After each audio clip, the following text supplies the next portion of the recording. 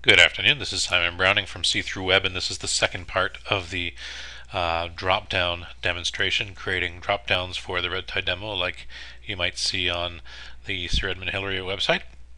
Uh, and we have just placed in the new and updated TypoScript, replacing, or actually just commenting out the original stuff that was created for us by the TemplaVoila wizard. And so this is script that I've used uh, previously and you can find examples of it uh, if you look, look uh, well, Google it really.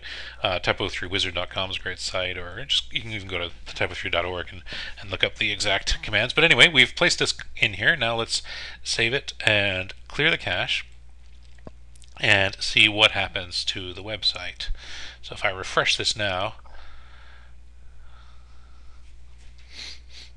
there we go. We've got stuff popping out all over the place, but that's okay because we haven't styled it yet. If I just open up Firebug here and look at the code, we should be able to see that uh, there.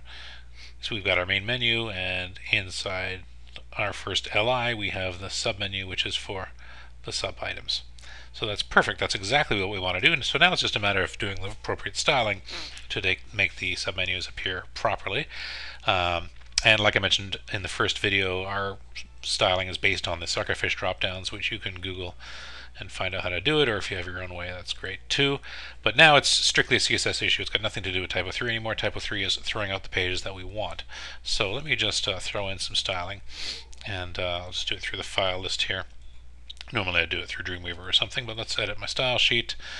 And uh, I'm going to get rid of what's there now for the main menu, and I'm going to just copy in some code that I've already got prepared. And let's save that now. Uh, let's clear the cache to be safe. Move it out of the way. And if I refresh this now, oh, there we go. It's looking closer. And if I hover over these items, well, there you go. You can see the drop downs appearing. Oh, we even got a pop to the side there. I probably don't want that page actually. So now um, it's just a matter of tweaking, continuing to tweak those styles. I actually just copied that code off another site, uh, so it was close, but not quite the cigar. So there you go. That's how you can create a uh, drop-down menu in Typo 3 using CSS. Um, if I went too fast or you have questions, feel free to post comments either on uh, the YouTube channel or on our site. Um, this is webdevelopers.thedemo.ca. Thank you very much.